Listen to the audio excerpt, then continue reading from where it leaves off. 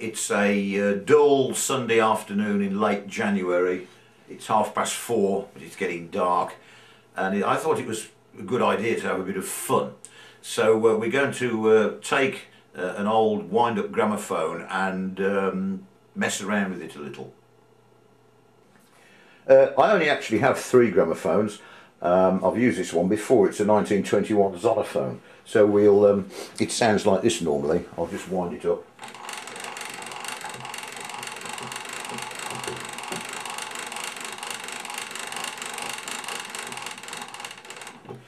Now it's got a double spring motor, so it should uh, play uh, two 12 inch records.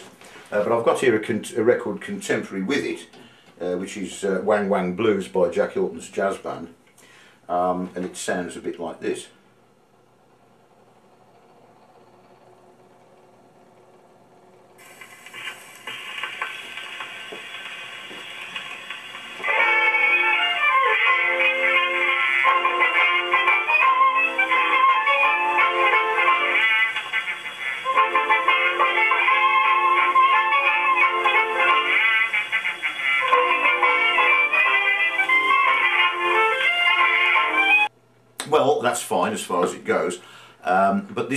Video camera has very poor audio. Uh, we'll address that problem later.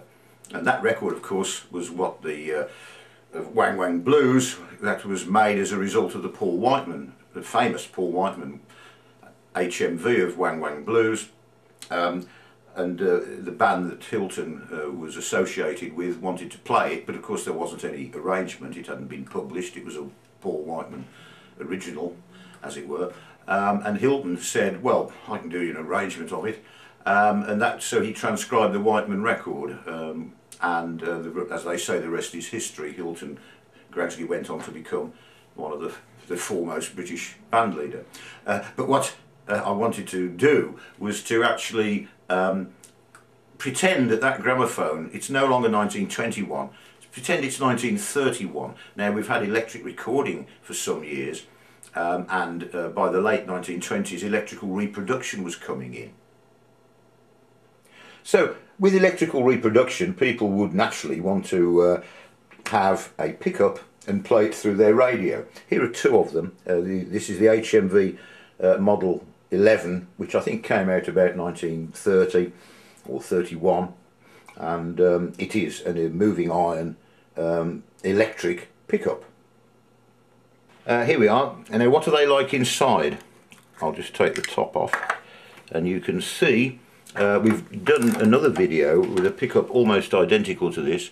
Uh, here is a, um, a, horseshoe magnet, pole piece, um, a coil here, the needle pivot, uh, which is an armature, the top of which is damped by this uh, rubber that you may be able to see there. Um, and here is a coil of extremely fine wire um, which uh, the, the groove of the record vibrates the armature and generates a voltage in this coil. Unfortunately this one um, is open circuit, actually so is the other one, I've got two of them, but uh, something excellent has just happened.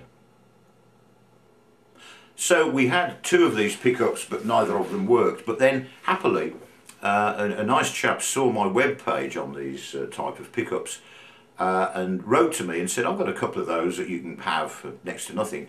And um, one of them was a, a number 11 and uh, to my intense delight when it arrived it still works. The coil of wire in here which we've looked at on previous videos um, is extremely fine. Many thousands of turns and um, they corrode at the ends and, and become open circuit. Um, but this one I've got now still works. So let's fit it to our 1921 gramophone. Okay, so first we remove the original acoustic sound box, like uh, so, and put it carefully on one side. And now here is the working uh, HMV number 11 sound box which is provided with a, a joint with sleeves which is an adapter. It can go in like that. And then we tip it back like so. And there's a little nut at the back that will stop it from flopping about. And of course we can put it back like that so it's easy to put a needle in. Here's our box of needles. We'll take one out. And uh, put it in here like so and screw up the needle retaining screw. Um, make sure it's wound up. Which it is. And so now we need a record to play.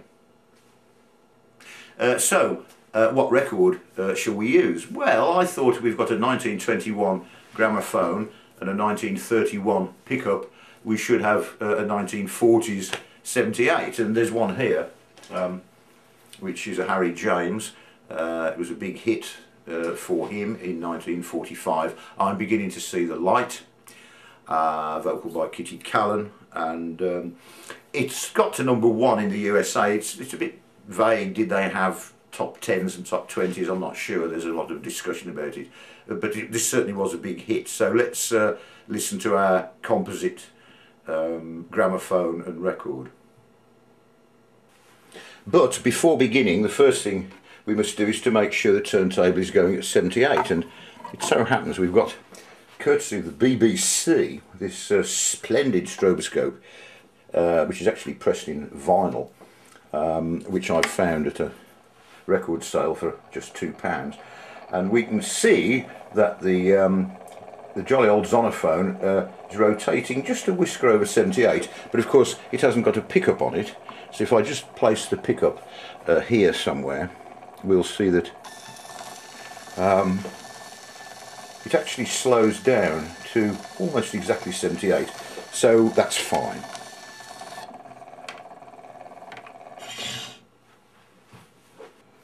Well, we're all ready to go now.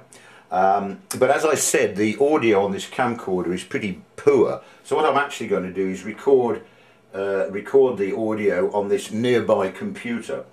And that is what you will hear uh, on the video, the uh, WAV file in the background. So let's go.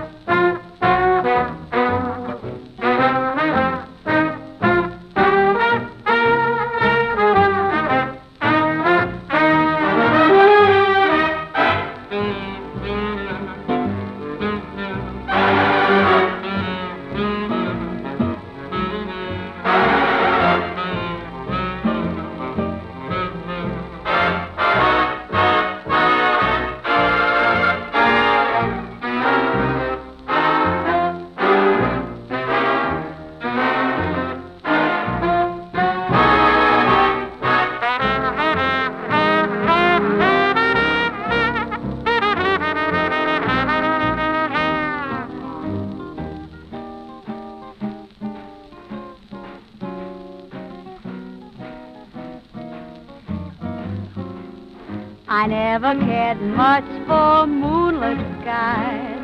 I never winked back at fireflies. But now that the stars are in your eyes, I'm beginning to see the light. I never went in for afterglow or candlelight on the mistletoe. But now when you turn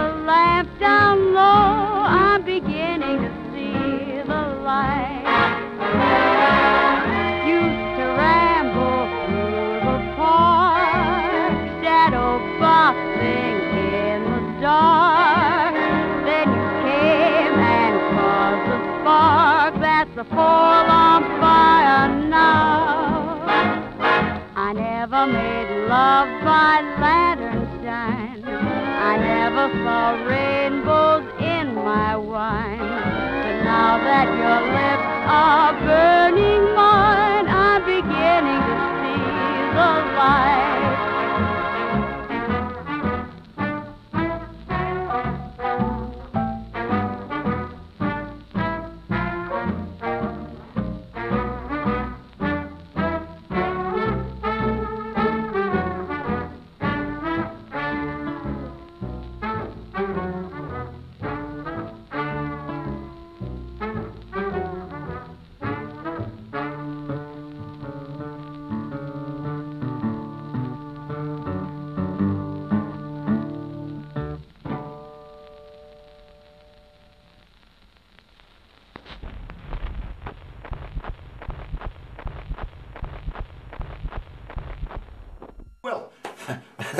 fun, and it's half past five, so it's passed away uh, an hour on a gloomy uh, Sunday afternoon in January. And I did say to the guy who found that pickup for me that I would make the video and uh, give him the link.